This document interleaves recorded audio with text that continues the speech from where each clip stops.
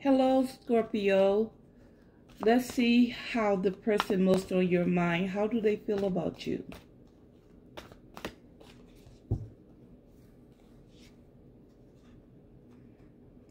So they are overflowing with love for you. They love you unconditionally.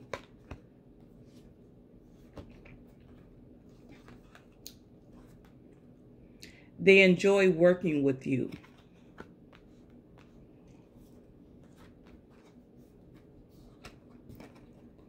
They feel that you are a very kind, loving, and nurturing person. Thank you for watching, Scorpio.